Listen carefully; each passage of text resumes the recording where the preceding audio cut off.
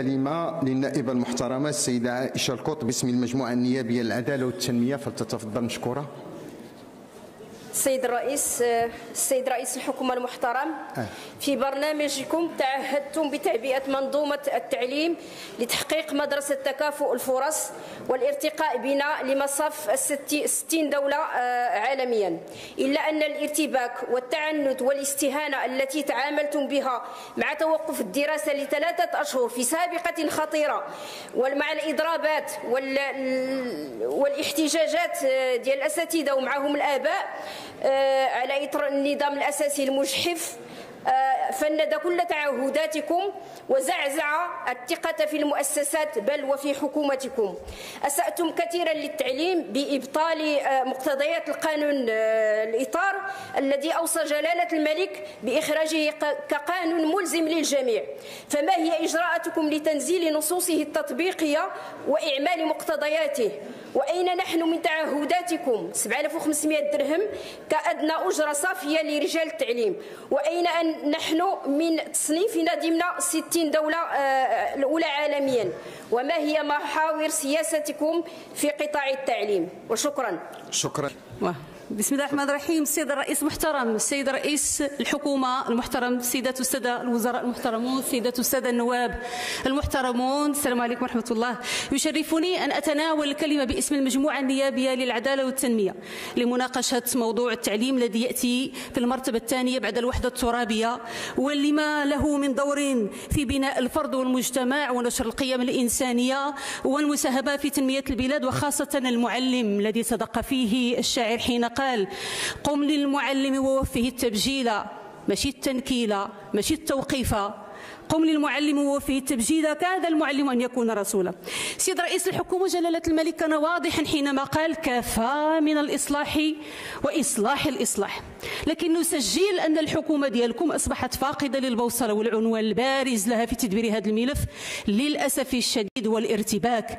لأنكم قطعتم مع المرجعيات القانونية المؤطرة لمنظومة التربية والتكوين. كنسألكم فين هي الاستراتيجية ديال ديال المنظومة التربية والتكوين 2015 2030 أين هو القانون الإطار 51 17 الذي تتعاملون معه بانتقائية رغم أن جلالة الملك جعله ملزما للحكومات المتعاقبة.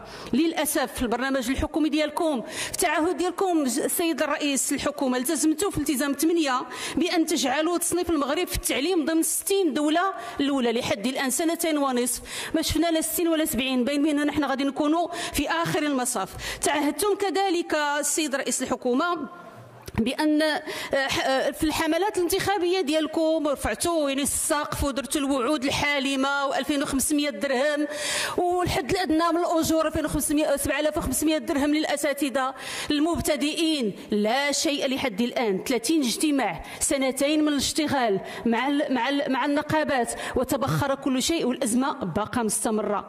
الحراك اللي شهدناه اليوم كتحملوا المسؤولية ديالو السيد رئيس الحكومة والحكومة بأكملها.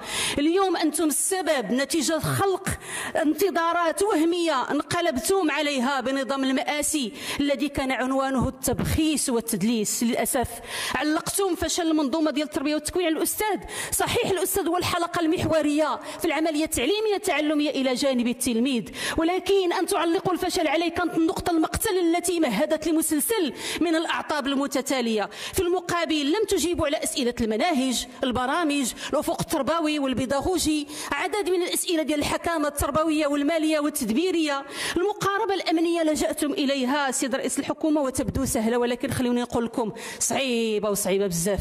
علاش؟ لأن منطق الغلبة والاستقواء جركم للمواجهة مع مع رجال ونساء التعليم. التعليم الذي هو وظيفة نضالية. أهم شرط باش ينجح التعليم هو الكرامة هو التقدير والتحفيز والثقة وليس العقوبات والاقتطاعات والتوقيفات. 545 أستاذ موقف لإخراس الأصوات والمجالس التأديبية باش تعاودوا لهم الترابي هذا قصف وخسف ونسف. قصف للشغيلة التعليمية ونسف وخسف بالمنظومة التربوية. ونسف لكل جهود لإعادة الاعتبار للمدرسة الوطنية. طيب قلتم 1500 درهم. وملي عندكم القدرة باش تعبوا 1500 درهم؟ علاش ما درتوهاش من الأول؟ ولماذا ما تجيبوا لناش واحد القانون ديال المالية ونديروا له التعديل بالمرة وفيوا بالوعد ديالكم مع أطر الأكاديميات. وديروا واحد المناصب مالية ممركزة وحلوا هذا الإشكال هذا. للأسف دائما في سؤال المقاربات تتحدثون اليوم عن الدعم المدرسي لتعويض تعويض التلاميذ من هذا الهدر المدرسي هو هذا إجراء عنده كلفة مالية وعنده كلفة علمية ولكن خلينا نقول لكم راه دار البرنامج الاستعجالي اللي كان حزب ديالكم اليوم في الحكومة كيدبروا واللي خلى فيه أعطاب قاتلة تستوجب. يعني المحاسبة وتستوجب يعني فتح التحقيق لذلك الكلفة المالية ديال هذا الدعم المدرسي قلت 200 درهم للساعة بالنسبة للأستاذ وكاينة الكلفة العلمية اللي كنحذركم السيد رئيس الحكومة أنكم كتحملوا كامل المسؤولية على الرداءة ديال الشواهد العلمية اللي غادي تجي في 2024 و 2025 ولا غادي تبقى وصمة عار في جبين هذه الحكومة.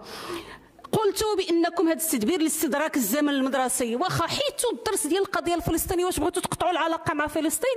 بغيتوا تمسحوا التاريخ ديال المغرب الذي يدعم القضية الفلسطينية؟ بغيتوا تقطعوا الأوصال ديال ولاد المغاربة مع القضايا ديال الأمة؟ طيب هذه الإشكالات اللي عشتوها اليوم البرلمان قدم مبادرة ديال الوساطة ولكن رفضتوا لأنكم تتعنتون. خليوني نقول لكم سيد رئيس الحكومة حكومة بلاصتكم خصها تبكي على ثلاث شهور وتقدم المسؤول الاستقالة ديالها وتقدم الاعتذار للمغاربة وتقدم الاعتذار للشغيلة التعليمية. وأختم بهذا وشكرا. شكرا السيده النائبة المحترمة.